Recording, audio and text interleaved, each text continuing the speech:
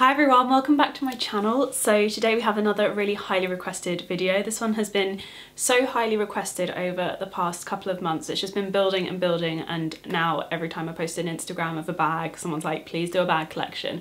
So that is what we are doing today. I don't have the biggest bag collection and basically have got to the point, I think I've said this before, where I'm on a one in, one out system now, unless there's something that is really very special. So I will kind of sell pieces to have new pieces, if that makes sense. And also if designer bags are your thing, you just shouldn't be watching this video. Like these videos always get so much hate and I'm just like, why do you, why did you click on this? Why did you watch this? So yeah, that's just my little thought ahead of time for anyone that is uh, already typing something out. But anyway, yeah, let's get started. I'm gonna start with the oldest and the oldest one is definitely not my favorite, um, but it was a very sensible purchase in some respects, not necessarily in the material I chose, but this is the Aspinal Marylebone light tote and this is in the Nubuck navy leather which when I first got it it was the most gorgeous bag on earth but it's, it has worn so badly. And I've said this in a video before and um, I actually got an email from I think it was the CEO of Aspinal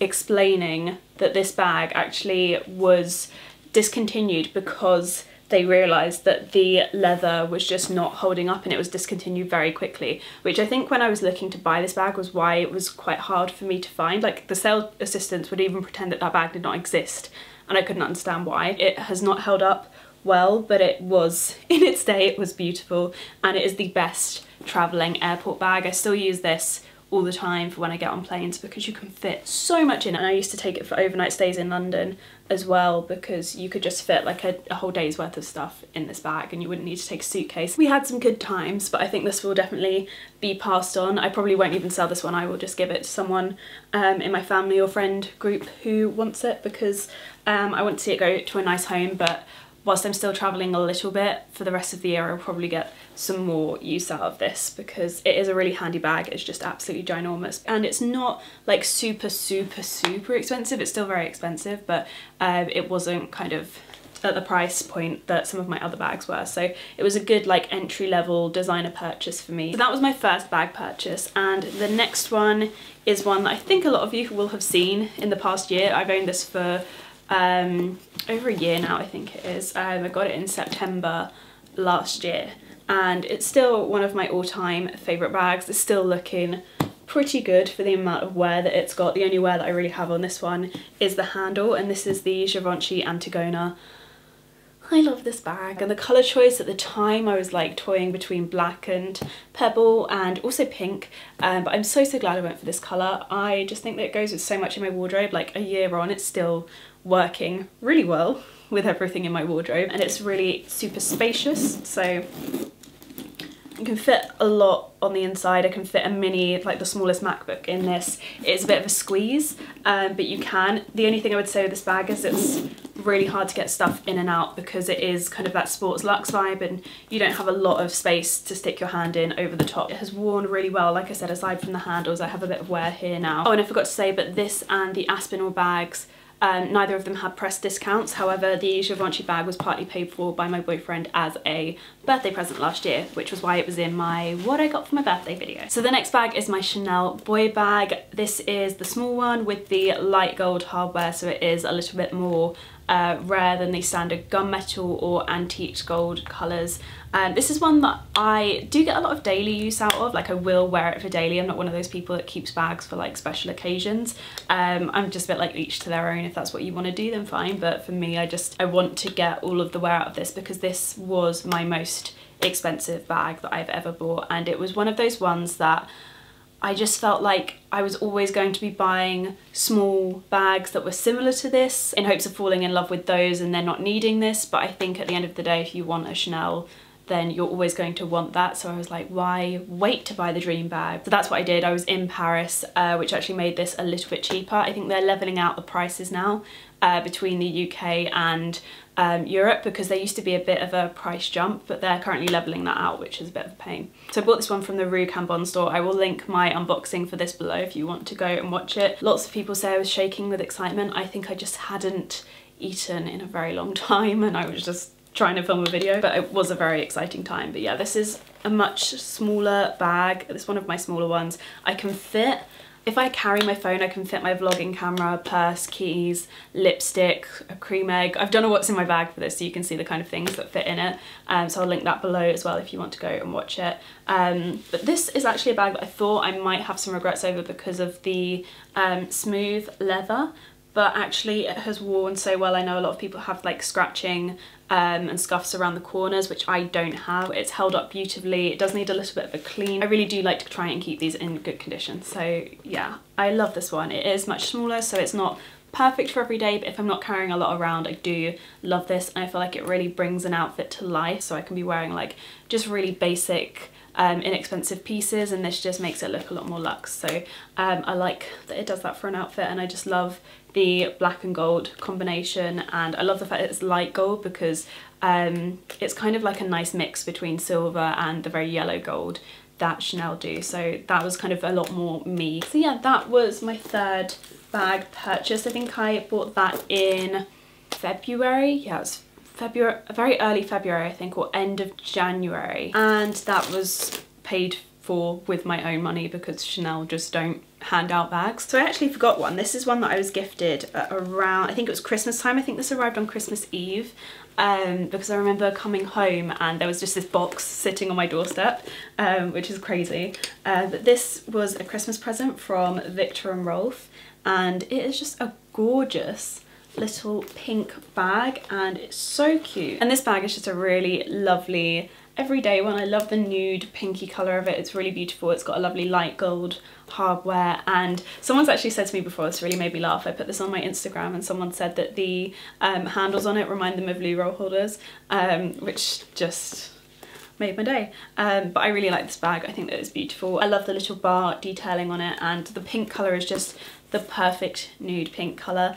Um, so yeah, that was a complete like gift from Viktor and Rolf and I love it so much. I don't get as much wear out of it as I should. I really should start wearing this more because I do like this bag a lot. That was a lovely one and it was just a really sentimental piece because that's the first bag that I've ever been gifted. And then we have a kind of, the timeline gets a bit skewed because I can't remember what way around I bought these, but I have another bag purchase which um, this is from Sophie Hulme and it has a very yellow kind of gold hardware on it and a peach um, leathery material. I've spoken about this one in a few videos. This is probably my most disappointing bag purchase, but this marks so easily. There's a lot of marks I can't get off with rubbers. So I'm just very disappointed with this one. I've said it before, um, it's not like the top scale of luxury bags. Sophie Hulme is very much kind of like an entry level brand. And I use this just for kind of like throwing on, but because I have the Viktor and Rolf bag as well, I just feel like it's they're too similar. They're two similar bags and two similar colours to have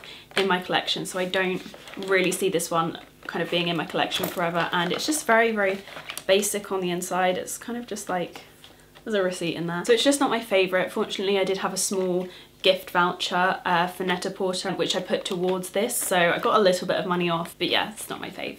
Okay, so the next bag I love comes in its little red duster bag. I just love the Valentino duster bags. They're so cute. So this is the I can't remember what the green colour of this is called. I think it's like spring green um, Valentino mini Rockstud bag. And this is a beautiful little bag. It is very small and you can't fit tons of stuff in it.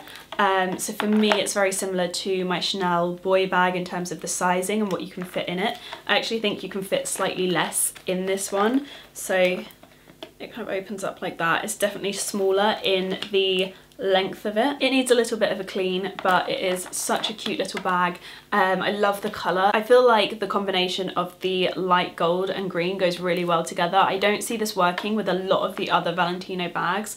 Um, aside from there's a grey one, which I think is in their winter collection, which I really like. The one thing I don't really like is how the um, material crinkles. I don't know if you can see this when you open it up, which of course it's going to happen because of the way the bag is kind of built. But um, that's just one of the things that I feel like just never feels perfect. I don't think my Chanel bag ever does that. So because it's, I think it's because it's not got the quilted stitching, it kind of just bubbles and that's one thing that I don't really love about it. It is a very cute bag. I love the chain detail on it because it's like a triple, quadruple chain. It's just so intricate and really, really beautiful. I do love this bag. I feel like it is one of those ones that won't be in my collection forever, but I have really enjoyed wearing it over the summer. It went with so many different outfits. Like I have lots of dresses that were like different pink tones and blacks. It had like pink, black, yellow, and little bits of green in it. And this kind of colour bag just went perfectly with those kind of little dresses and stuff like that, all my little summer dresses. So that is my Valentino Rockstud and I got that from Luisa Via Roma and I did have a small press discount for that. So the next bag you will have seen very recently in a what's in my bag video. This is my Balenciaga City in the suede colour. This was a bit of a treat to myself over the summer. I was actually going to make this purchase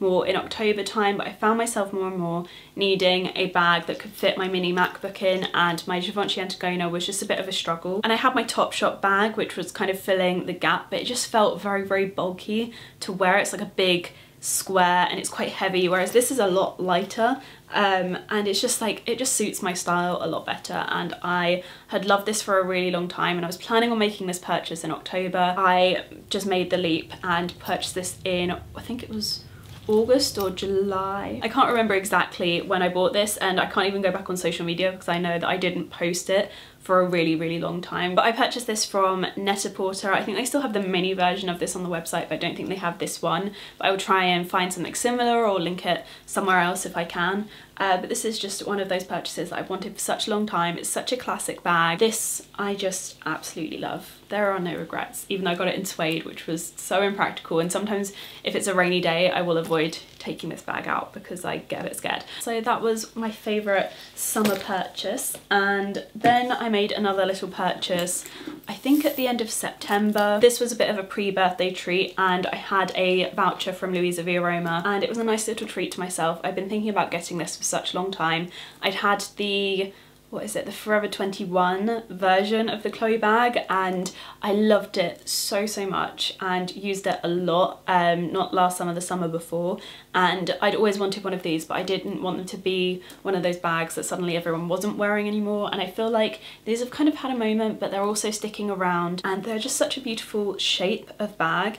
And the size of them is really good as well. I think this is the small one and the medium is quite large I think. Maybe I'm getting confused. But it can fit a lot in it. So this is one of the two bags I use every day at the moment so it's not in its duster bag. So as you can see it's got quite a lot of space on the inside and I like the fact that the material is quite stretch not stretchy but it's quite loose and it's quite easy to open up. My one gripe with bags is when you can't really get in them and it's a bit of a struggle. Uh, my one thing is that it is kind of impractical with this whole little lock system um, when you're trying to one-handedly open your bag and reach in and get something. It can be quite frustrating, but um, I got it in this kind of, it's like a leathery material on the top and then a suede underneath on the front and it just is completely leather on the back. And I feel like it will definitely be one of those bags that stays in my collection because it's just such a pleasure to wear. I love it. It makes me so happy to look at. I know some people are going to be like, how superficial is that? Bags make her happy, but this channel really doesn't get any deeper than shopping and the occasional rant. So um, yeah, so that is it for my bag collection. I really hope you guys enjoyed seeing this. Finally, I feel like it's been so highly requested recently. Um, I hope you also enjoyed the kind of honest feedback on which ones I plan on keeping and which ones just weren't right for me.